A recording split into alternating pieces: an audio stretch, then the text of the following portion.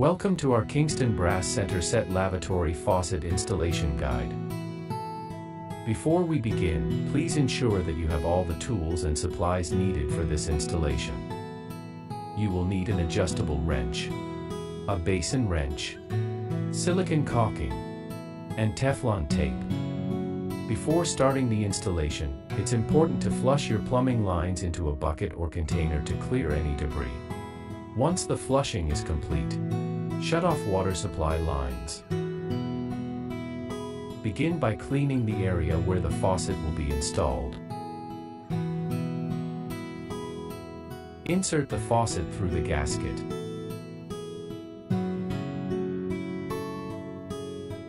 Apply a bead of silicone caulking around the perimeter of the gasket at the faucet's base.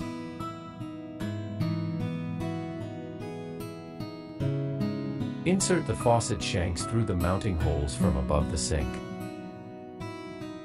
Follow by inserting the pop-up rod. From below the sink, insert the lock nut onto the faucet shanks. Use a basin wrench to ensure a secure fit.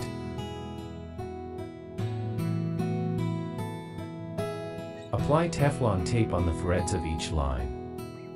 Make sure to wrap at least three revolutions for a proper seal.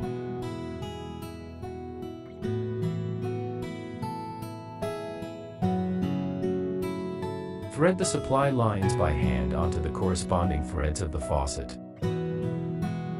Once hand tightened, use an adjustable wrench to give them an additional half turn for a secure connection. Now, let's move on to the pop-up drain installation.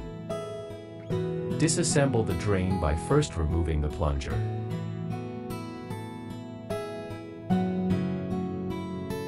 Then the drain flange.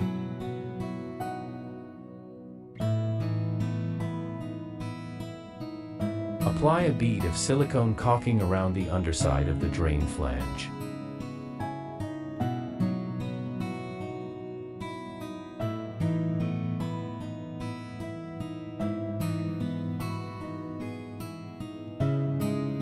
Apply Teflon tape to the tailpiece thread.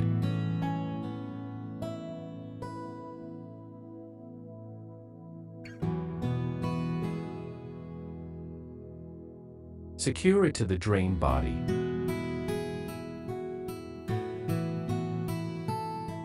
From below the sink, secure the drain. Remember to position the side opening of the drain body towards the back of the cabinet. Make sure to tighten with an adjustable wrench. Now insert the drain plug. Back to under the sink. Slide pivot nut over pivot rod and thread it on the drain.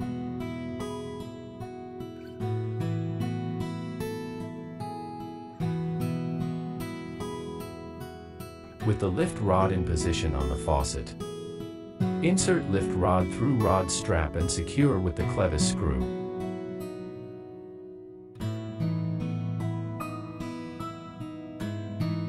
Guide the pivot rod through one of the holes on the lift rod. Then secure with a spring clip.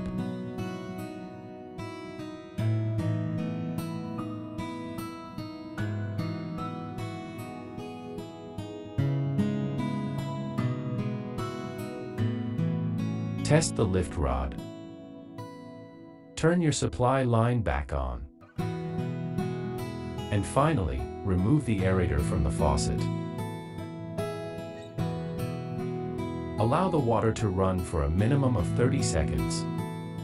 This will help clear any debris from the line. Once the water has run, replace the aerator onto the faucet.